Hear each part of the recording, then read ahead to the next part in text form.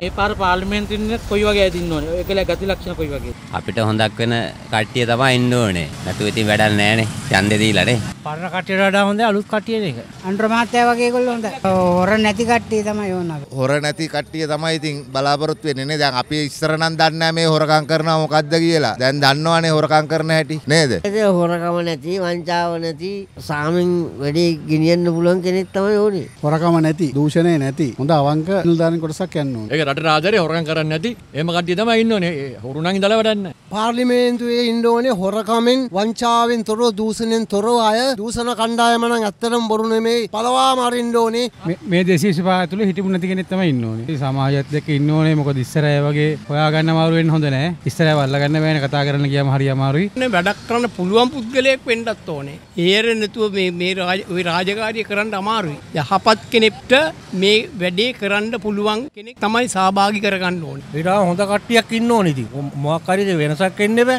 මේ පාර පාර්ලිමේන්තුවේ නම් ඉන්න ඕන හොරබරු වංචා නැති දක්ෂ මොලේ තියෙන පිරිසක්. පොළවේ පය ගහලා ජීවත් වෙන මිනිස්සු. මට බස් එකේ පාර්ලිමේන්තුව යන්නත් පුළුවන්. බයිසිකල් එකේ යන්නත් පුළුවන්. BMW එකේ යන්නත් පුළුවන්. කියලා හිතන මිනිස්සු තමයි වුමනා කරන්නේ.